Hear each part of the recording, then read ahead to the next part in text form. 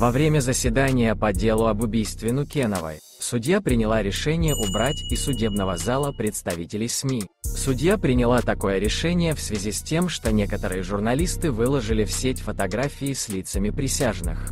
В самом начале заседания, судья объявила, что вынуждена принять меры в связи с тем, что после предыдущего заседания по сети были распространены фото и видео, на которых были зафиксированы присяжные. Прямая речь.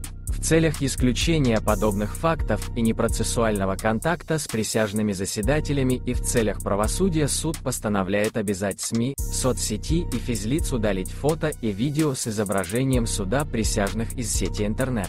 До получения результатов проверки в целях проведения объективного и надлежащего рассмотрения уголовного дела суд считает необходимым удалить из зала судебных заседаний все СМИ, всех представителей, которые могут производить трансляцию из специально отведенного помещения в здании суда.